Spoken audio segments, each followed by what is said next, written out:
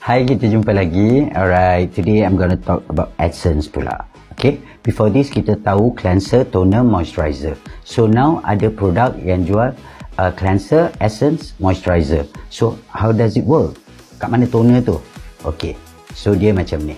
Okay, toner, we know that toner dia untuk tonekan the skin dan juga untuk uh, deep cleanse apa-apa ada lebihan-lebihan kotoran dekat dalam kulit pori, uh, dekat kulit kita. Okey jadi dia tutup pori-pori tu.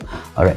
So mungkin yang pakai essence ni produk tu dia dia sangat-sangat confident dengan dia punya cleanser tu dah betul-betul deep cleansing jadi dia come out dengan um, apa tu? Uh, essence. So this essence dia dalam bentuk cecair juga. Mungkin ada yang pekat sikit ataupun ada yang cair sama dengan toner okay so not to worry about that most important thing dia dalam bentuk liquidity okay? Dalam liquid okay?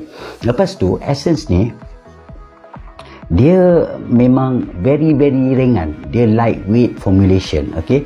Dia design memang macam tu okay? Meringankan. Jadi meringankan muka jadi not too heavy on your face okay?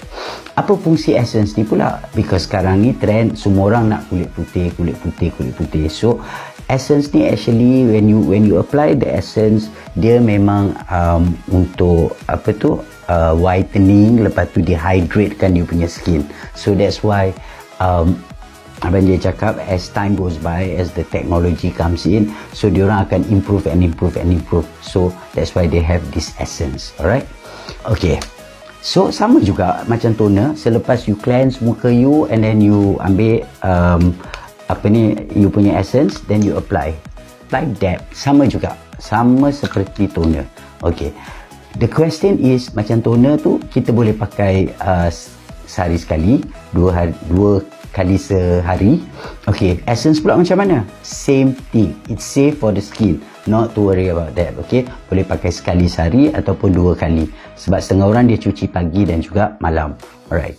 So, um, ada juga yang come up into my mind. Okay, kalau macam um, essence ni nak pakai dua-dua, boleh ke tidak? Alright. Yang sebenarnya boleh. Tapi selepas you cleanse, you know, you cleanse your face, muka dah bersih, Lepas tu you letak toner because you get used to it. Okay, you pun dab you punya toner. So you dah tone your skin, lepas tu you dah deep cleansing. You rasa okay, dah bersih.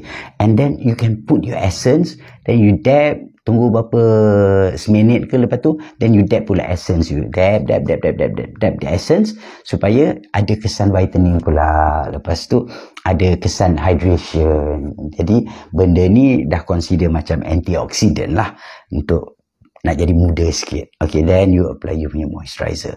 So, itu saja yang Abang Jay nak bagi tahu supaya jangan confuse about this essence and toner. Alright?